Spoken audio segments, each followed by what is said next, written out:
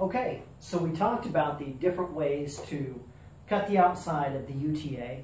There's not as many, but there are several ways you can still cut the inside of the UTA. I'm going to demonstrate um, probably one of the most tried and true ways to cut a circle is with the router. Now the reason I didn't do the router on the outside of the UTA is again, it's not as efficient. One, um, a bandsaw is extremely efficient when it comes to removing material. Two, router bits are very expensive, so a bandsaw blade is going to last 10 times longer than one of my router bits, so I don't want to use that router bit any more than I absolutely have to. Now the reason I'm doing it on the inside of the UTA is obviously we can't get through um, a hole on a bandsaw. You would need something like a scroll saw, or again, you could do a jigsaw if you wanted to. Um, but I'm going to do the router because I want it to be perfectly smooth and perfectly round on the first pass without having to do any type of touching up sanding because again, that's where your inside tubing or your Kydex or your plastic or other ABS type material is going to go. And so you put two-sided tape on the inside of that UTA. The more perfect to round it is, the easier it is to install that plastic material at the later date. So we'll get started. Um, the way you have to start is in that middle divot where we had originally used our compass to draw the square, I'm going to drill a hole. Now I want to get my hole as close to vertical as possible.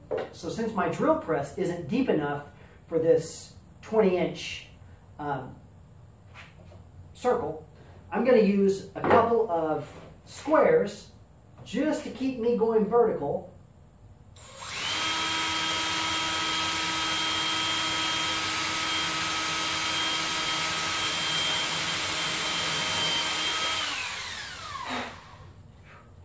There we go.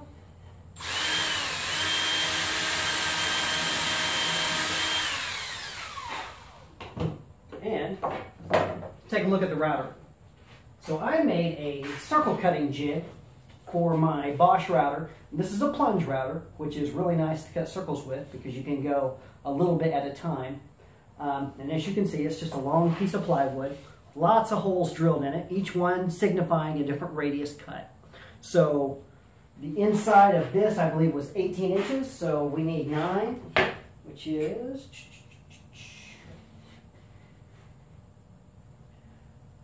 Right, right there. Perfect. Okay, so now I will go get my central pivot point, which is nothing more than a quarter 20 bolt, and we'll start routing. Okay, I think we're ready to cut the inside circle for the ring of the UTA. So I've got the central pivot point in, just a quarter 20 bolt, and then I just put a nut on top, cinch it down so that it doesn't wiggle a lot whenever I go. So I'll put on my safety glasses. Before I start routing, you know, I point out that the router is probably the most versatile tool in the shop, but it can also be the most dangerous. Um, I like to make sure that I'm going to be able to clear everything. There's nothing in my way whenever I'm walking around and routing because if it gets hung up, it will shoot back very, very quickly. So we'll put on safety glasses.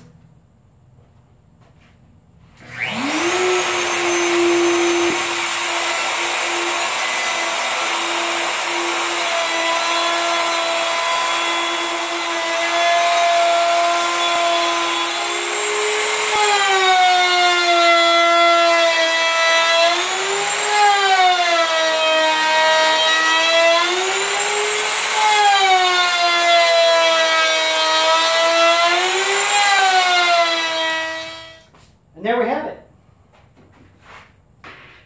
Unbolt this.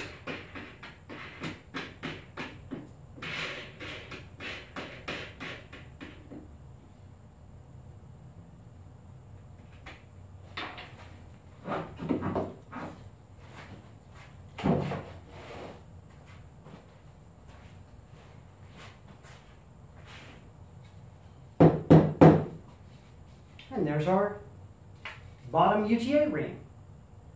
So I'll finish the next one alone and then we'll come back and start drilling the holes for the struts, mounting brackets, and the focuser board and finder board.